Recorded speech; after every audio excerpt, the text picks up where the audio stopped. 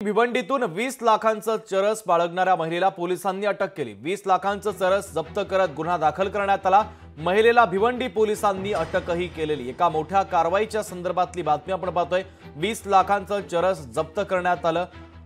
तर या प्रकरणी महिलेला पोलिसांनी अटक केली. वीस लाखांचं चरस जप्त करत गुन्हा दाखल करण्यात आलेला आहे.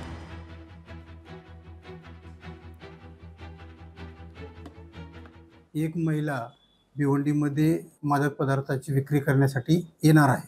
त्याप्रमाणे त्यांनी सापळा कारवाई केली असता पोस्ट ऑफिसजवळ एक महिला स्कूटी गाडीवर अ, संशयास्पदरित्या जाताना मिळून आली. पंचासमक्ष तिची वाहनाची तपासणी केली असता त्यामध्ये दोन किलो वीस ग्रॅम चरस हा अंमली पदार्थ त्याची आंतरराष्ट्रीय मार्केटमध्ये किंमत वीस लाख वीस हजार रुपये आहे. तो जप्त करण्यात आला. लोकशाही मराठी. ऐका पहा जागरूक रहा.